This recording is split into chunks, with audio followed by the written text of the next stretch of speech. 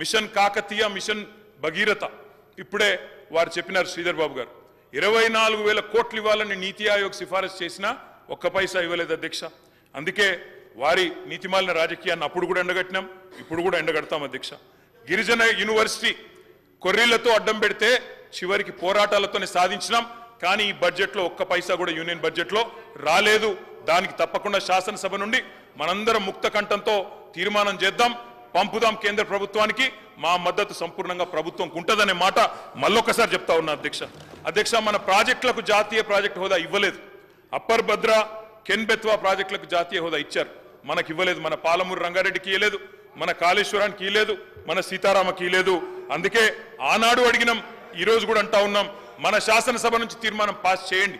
తప్పకుండా మరి కేంద్ర వివక్షను ఎండగడదాం. అదేవిధంగా అధ్యక్ష ఒకటి కాదు. ఎన్నో విజయాలు కూడా సాధించినాం. కేంద్రం ఇవ్వలేదు అని చెప్పి దిక్కులు చూడలేదు అధ్యక్ష. ఎన్నో విజయాలు సాధించినాం. కాలంతో పోటీపడి బ్రహ్మాండంగా పర్యావరణ అనుమతులు సాధించి వాయు వేగంతో ప్రాజెక్టులు కట్టినాం. నిన్నగాక మొన్న చూశాను బట్టి విక్రమార్క గారు సీతారామ ప్రాజెక్టు పంప్ హౌజులు పోయి ఆన్ చేసినారు అధ్యక్ష. అది కాలంతో పోటీ పడుతూ కట్టింది బీఆర్ఎస్ ప్రభుత్వం పంపులు మీరు చాలు చేయొచ్చు కానీ కట్టింది కేసీఆర్ గారు అనే మాట ప్రజలందరికీ తెలుసు అధ్యక్ష. కాళేశ్వరం అయినా పాలమూరు రంగారెడ్డి అయినా అన్ని కూడా చేసుకున్నాం అధ్యక్ష. కేంద్రం ఒక రూపాయి ఇవ్వకపోయినా దమ్మిడి పైసా సాయం చేయకపోయినా చేసుకున్నాం. మా కొలువులు మాకే దక్కాలి అని ఒక ఉద్యమ నినాదాన్ని నిజం చేస్తూ తొంభై ఐదు శాతం రిజర్వేషన్ నియామకాల్లో గవర్నమెంట్ నియామకాల్లో సాధించిన ఒకే ఒక్క రాష్ట్రం భారతదేశంలో తెలంగాణ అధ్యక్ష. ఈ విషయంలో కూడా కేంద్రానికి అభ్యంతరం ఉంటే ఒప్పించినాం మెప్పించినాం అల్టిమేట్గా సాధించినాం అధ్యక్ష.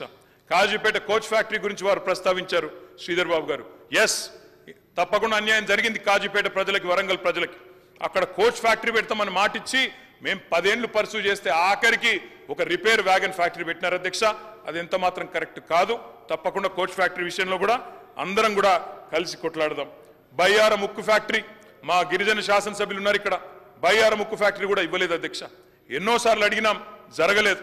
తప్పకుండా ఆ విషయంలో కూడా ప్రభుత్వంతో కలిసి వస్తాం కలిసి నిలబడతాం.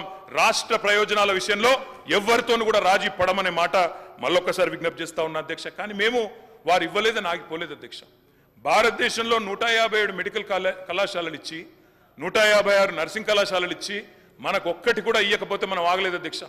ఆనాడు ముఖ్యమంత్రి కేసీఆర్ గారు హెల్త్ డిపార్ట్మెంట్ ఆ రోజు చూస్తున్న హరీష్ రావు గారు జిల్లాకు ఒక మెడికల్ కాలేజ్ పెట్టి వాళ్ళు ఇయ్యకపోయినా మేము చేసుకున్నాం అధ్యక్ష.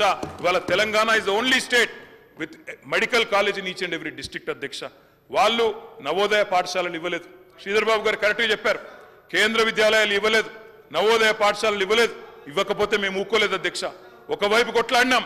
మరొక వైపు వెయ్యి గురుకుల పాఠశాలలు కూడా పెట్టి హైయెస్ట్ నెంబర్ ఆఫ్ రెసిడెన్షియల్ పాఠశాలలు పెట్టిన ఒకే ఒక్క రాష్ట్రం తెలంగాణ అధ్యక్ష. అధ్యక్ష తెలంగాణ కొంగు బంగారం సింగరేణి. సింగరేణిని వాళ్ళ చీకట్లోకి నెట్టే కుట్రలు కేంద్ర ప్రభుత్వం చేస్తే ఈ రోజు కాదు అధ్యక్ష మొదటి నుంచి వ్యతిరేకిస్తూ వచ్చినాం. అడ్డుకున్నాం. ఒక సింగరేణి కాదు పబ్లిక్ సెక్టర్ అండర్టేకింగ్స్ అన్నిటి విషయంలో ఒకటే నిర్ణయం తీసుకున్నాం. తప్పకుండా ప్రభుత్వ రంగ సంస్థలను కాపాడాలనే కృతనిశ్చయంతో పనిచేశాం చేస్తూనే ఉంటాం. కానీ మొన్న చాలా విచిత్రంగా అనిపించింది అధ్యక్ష. కిషన్ రెడ్డి గారు పిలుస్తారు మా డిప్యూటీ సీఎం గారు పోతారు. ఇద్దరు సింగరేణి గనులను వేలం వేస్తుంటే చిరునవ్వులు చిందిస్తూ ఒకటే వేదిక పంచుకుంటుంటే మేమైతే ఆశ్చర్యపోయినాం అధ్యక్ష. వడ్లు కొనకుండా దాగుడు మూతలాడితే ఊరుకోలేదు అధ్యక్ష. రైతాంగం తరపున కేంద్రంలోని హస్తినాపురానికి పోయి ముఖ్యమంత్రి మంత్రులు ఎమ్మెల్యేలు ఎంపీలు అందరం పోయి ఢిల్లీలో ధర్నా చేసి అక్కడ గర్జించినాం అధ్యక్ష. మోటార్లకు మీటర్లు పెట్టాలని మెడ మీద కత్తి పెట్టినా వినలేదు అధ్యక్ష. రైతుల కోసం మరి ముప్పై వేల కోట్ల ఆర్థిక వనరులు మన రాష్ట్రానికి రావాల్సినవి మెడ మీద కత్తి పెట్టినందుకు దాన్ని వదులుకోలేదు. మేము ఈరోజు కూడా మళ్ళీ ఈ ప్రభుత్వాన్ని కూడా చెప్తా ఉన్నాం. దయచేసి మీరు రాజీ పడవాకండి. ఎందుకంటే వింటున్నాం కొన్ని విచిత్రంగా అనిపిస్తున్నది. విద్యుత్ సంస్కరణలు పెట్టి డిస్కాంలను ప్రైవేటీకరణ చేయాలని బీజేపీ చెప్తుంటే ఇవాళ ఇక్కడ రేవంత్ రెడ్డి గారు మొన్న ఒక ప్రకటన ఇచ్చారు అధ్యక్ష. హైదరాబాద్ పవర్ సర్కిల్ను అదాని గారికి అప్పచెప్తామని మరి ఈ విషయంలో దయచేసి నేను రాష్ట్ర ప్రభుత్వానికి విజ్ఞప్తి చేస్తా ఉన్నా. ప్రైవేటీకరణ పేరిట డిస్కాంలను ప్రైవేటీకరించే ప్రయత్నం చేయకండి. వాళ్ళ ఒత్తిడికి లొంగకండి. వాళ్ళు మోటార్లకు మీటర్లు పెట్టాలంటే దానికి లొంగవద్దని చెప్పి కూడా నేను ప్రభుత్వానికి విజ్ఞప్తి చేస్తా ఉన్నా అధ్యక్ష.